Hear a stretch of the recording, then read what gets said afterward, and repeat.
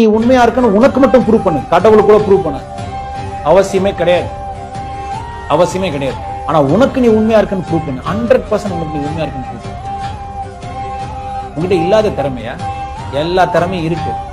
திறமை இருக்குன்னா உடனே பெயிண்டிங் தெரியும் ஸ்விம்மிங் தெரியும் சொல்ல வரல. எல்லா திறமையும் வளர்த்துக்கான திறமை இருக்கு. இதை இதை வச்சு இப்போ உனக்கு எதை வளர்த்துக்க முடியுமோ அதுல ஃபோக்கஸ் இன்னொருத்தனுக்கு ப்ரூவ் பண்றதுக்காக எதுவுமே பண்ணாங்க